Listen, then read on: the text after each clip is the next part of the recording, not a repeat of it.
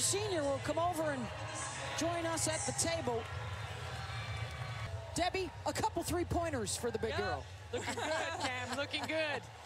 You know, I think I'm just so proud of this team. I mean, I think you can tell we love to play with each other. So I'm so proud of Nunu, Kiki, Hannah Jump, like everybody. We came out and we showed everyone what we're made of. So I don't know, maybe people will take us a little more seriously now.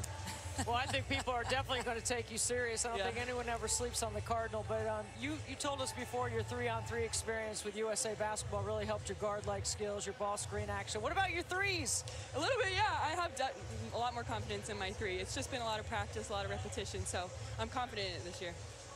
And Cameron, the other thing you talked to us about was Kiki and Nunu and how they can take some pressure off you. They're pretty athletic. They've got a quick bounce. Yeah. What do they add that you didn't have last year?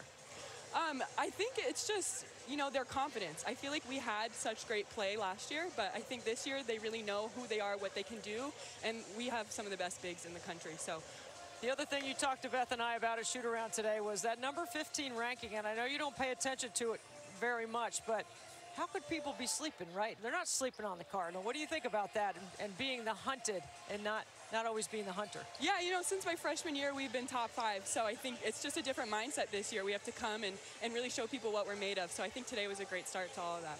All right, well, thank you very much, Cameron. We appreciate it, Thanks. and uh, best of luck the rest of the way to Thank you, Thank guys. you, Cameron. Bye. Double-double for Brink, double-double for Iriafen, and uh, they end up with 11 three-pointers. So